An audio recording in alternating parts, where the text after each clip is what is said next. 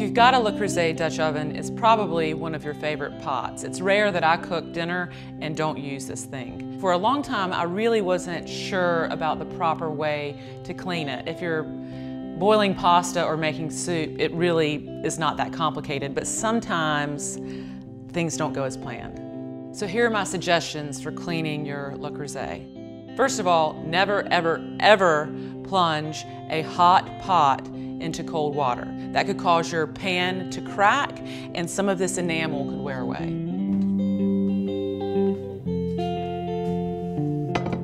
If you've got a dirty pot like I do, fill it with some warm soapy water and let it soak for like 15 or 20 minutes. If you've got really stubborn food stuck to the bottom of your pot, you can fill it with water, add some baking soda, and return it to the stove over very low heat. You'll notice after a few minutes that the food starts to soften up. This is a great, great tip. When cleaning your pot, it's safe to use mildly abrasive pads like these. I'm a particular fan of this one, but you don't want to use metal pads or steel wool or a harsh abrasive cleaner because that will damage the enamel. Any type of degreasing dish detergent is perfectly fine for your pot.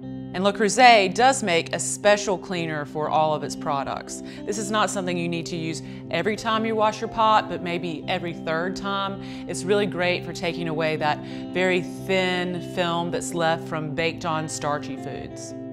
And lastly, make sure that you dry your pot thoroughly before you store it.